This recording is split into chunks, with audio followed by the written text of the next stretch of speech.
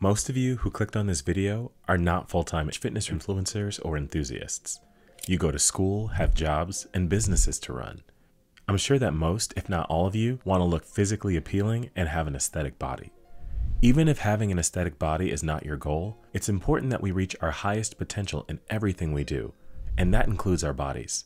So in today's video, I'm going to break down what a really aesthetic physique is and what you can do to build one. I'll share which fitness routines you should and shouldn't focus on. Now, different people have different definitions of an aesthetic body, but here's what I learned after doing some research. An aesthetic body is lean and muscular with balanced and symmetrical proportions. It's not too bulky, definitely not bodybuilder bulky, and it's not too lanky. It has certain muscles that stand out neck, lats, delts, upper chest, abs, and forearm muscles. Having adequate vascularity, so your veins pop. Having a V-taper body means having a good waist to back ratio, broad back and narrow waist, and a prominent V-line. At the end of the day, how you look really depends on your personal goals and what kind of physique you want.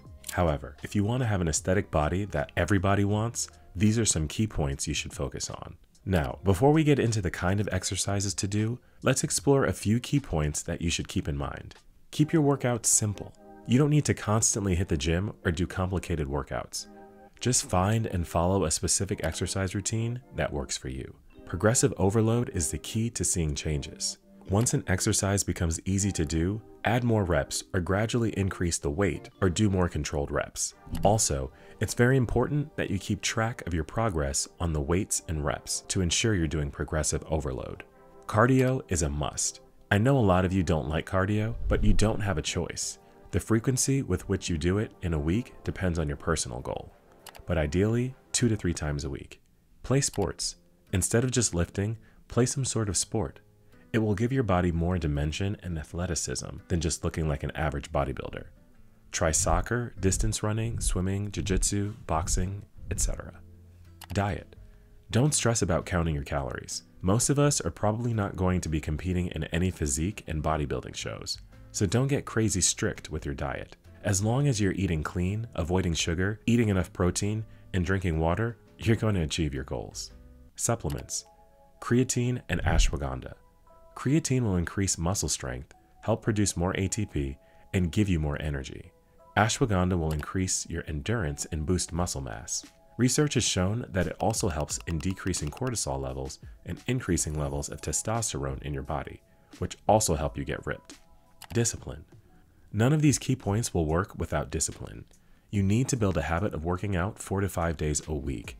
No matter how busy you get, take at least 45 minutes to an hour a day to work on your body and achieve your goals. Rest days. I cannot stress enough how important rest days are if you want to see positive changes in your physique. You don't need to work out the same part of your body every day. You need to rest your body so that your muscles can reset and prepare for the progressive overload. Mental health. This is something that isn't talked about enough when it comes to working out. A healthy mind and mental state is just as important as your workouts. If mentally you are at a peaceful state, you're more likely to be consistent with your gym and diet. You're more likely to know your priorities, set certain boundaries, and make decisions that align with your goals. Often, people who are stressed or feel anxious binge on junk food. Even I have done that. So when you have a more positive mindset, you have more control of your habits, eating included. When you have a positive mindset, working out gets a lot easier. You're more present with every lift, and that automatically gives you better results. Now that you understand key points that will help you achieve your physique goals, I'll discuss the exercises that you should focus on that target certain muscle groups and give definition to an aesthetic body. You can do the push-pull leg split or follow calisthenics, whichever works best for you. Neck and traps. The neck and traps are one of the most important muscle groups to target. Your neck is a very visible part of your body that is constantly on display. A thick neck is a sign of dominance and masculinity. Don't go too overboard with training the neck, because remember, it's all about having balanced proportion.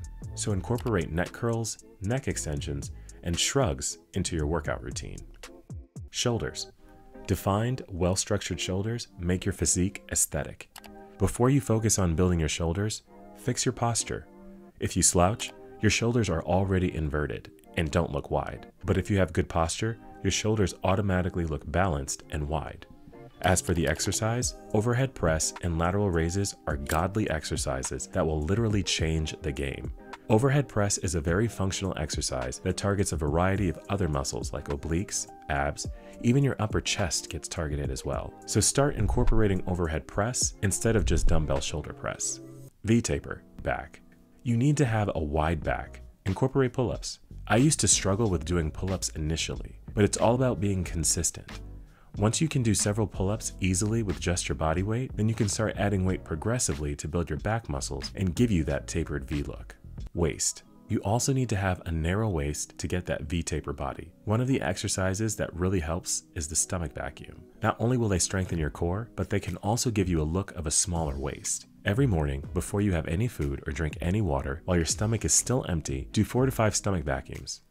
First, inhale through your nose and fill your lungs. Then, after 3 to 4 seconds, exhale at the same time. Pull your stomach inside in a way that you're trying to touch your belly button to your spine. Hold for 10 to 20 seconds and repeat 2 to 3 times. Upper chest.